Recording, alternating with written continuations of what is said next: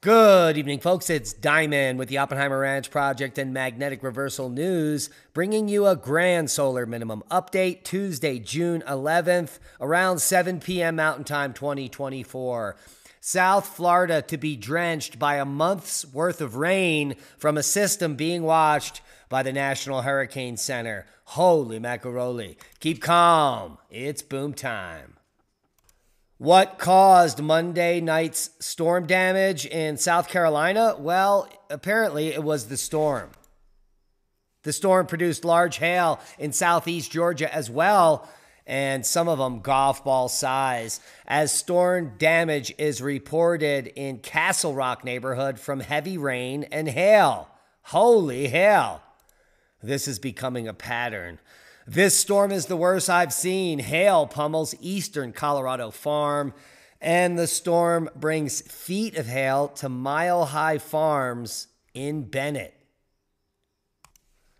Expected. Oh, I've been here since 85. But Sunday still managed to surprise him. This storm is the worst I've seen since I've been here.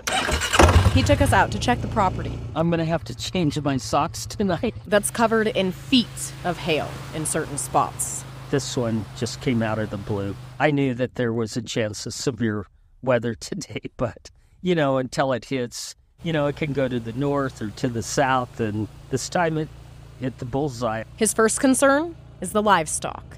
This is Barrett, and the other one is Jackson. And time will tell when it comes to the crops. Some may need to be replanted, with many submerged. It's a risk that you always take in farming. Plus, the rushing water. Box Elder Creek, and 99.9% of the time, it's a dry creek bed. No water in it, just a uh, uh, just sand. Means they'll be cleaning up for a while. I have no idea you just uh, just start doing it and takes as long as it takes. But for Coyle, I'm happy that the animals are okay, and uh, I think that we can deal with the crops and stuff. It's what he's come to expect from the lifestyle he loves. Club. Well, that certainly was a tearjerker for that farmer, but he is not the only one.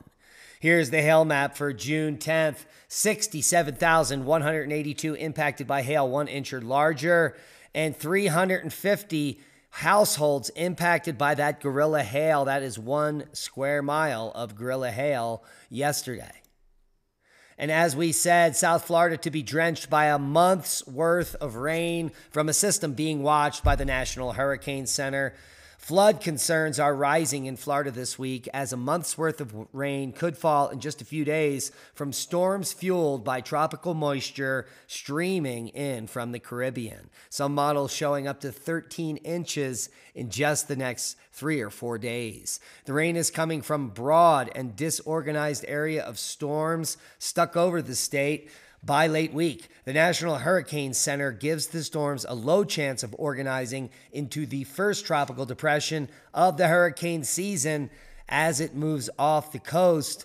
But that is not the big worry when it goes over here because it's going to move out into nowhere. The big worry is the rain it's going to bring to the peninsula. Currently, just a 10% chance of cyclone formation in the next two hours. Let's look at the full forecast. We've got excessive heat and severe weather and heavy rainfall concerns for today. Dangerous heat continues for the southwest and portions of California. You can see those warnings out in magenta. The heat will also be of concern for lower elevations of Puerto Rico and USVI. A few severe thunderstorms are expected across portions of the southern plains and the upper Midwest. Across Florida, a plume of tropical moisture will continue to produce showers and thunderstorms with heavy rain and possible flooding for days. Let's take a look at the GFS model. You can see the deluge now in southern Florida is happening now. Three hours from now, it may decrease, but then it increases and it continues to rain through Thursday and Friday and into the weekend here, Saturday and Sunday. It's never ending. What a fun day. Take a look at that. There's going to be some relief early in the week here, but another tropical disturbance looks like it's making its way up on Texas by mid June.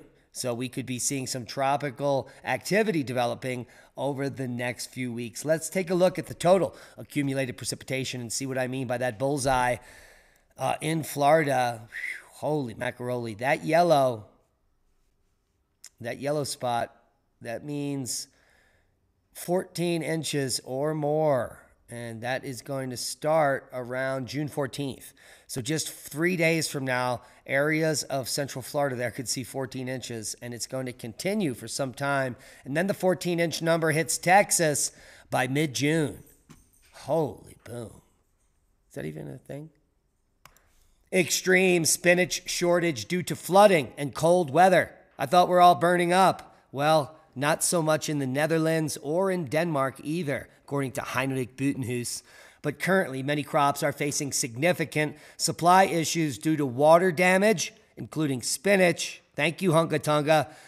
We're at a standstill and can't harvest, says Corn Bin from Breda who cultivates 60 hectares of spinach annually. The majority of the fields are flooded, and the cold weather is preventing growth.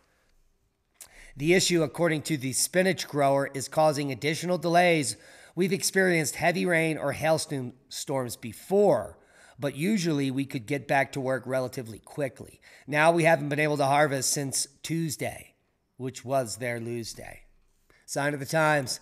Seismic update no quakes of note, moderate activity worldwide, nothing of significance.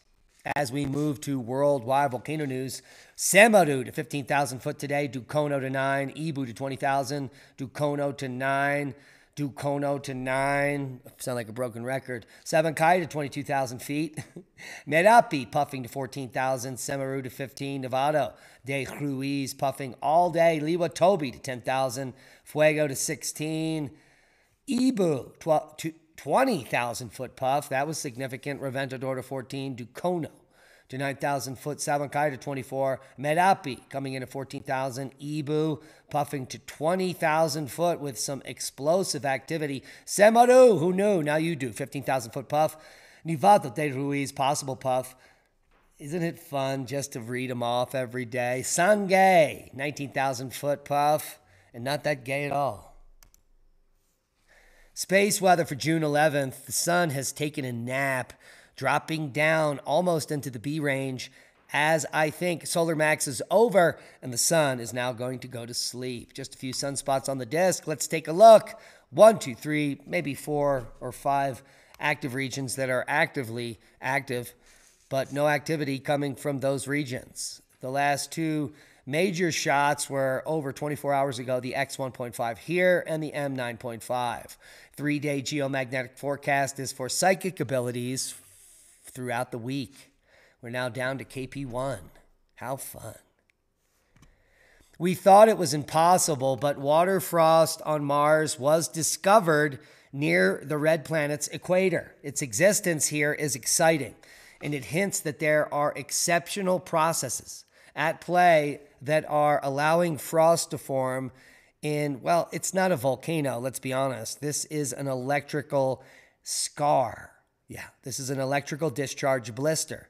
Just like in welding, this is has none of the features that a volcano would, like lahars, flows, and other things down the side. And it's just suspect in its shape and form. So, the electrical blister from plasma scarring is developing frost. Here is an, image, an image of Olympus Mons, the tallest volcano, which is not a volcano, it's an electrical scar. Not only on Mars, but the entire solar system, as far as we know, which is probably not true at all anyway. So why say it? We, we know less than a billionth of a percent of infinity. Eh, so, anyway, that's a different podcast. But they actually found, found some frost on these plasma discharge features. And guess what? They're baffled. You know, it's not baffling. A company that is worker owned. And not only that, they provide the cheapest seeds on earth that are open pollinated and non GMO. I'm talking about the Alliance of Native Seed Keepers, our affiliate. Go get some seeds, support the channel, support your peace of mind, and get growing. Time is running out for your preparedness, your peace of mind, your self sufficiency, and for the rest of the planet. That's a boom to knowledge. Please share this video as we are shadow banned. We need your help to grow. Become a Patreon. Support the work we do and watch all of our podcasts in one place, commercial free. But most importantly, be safe. Get the seeds. We love you. And that's a boom. Me.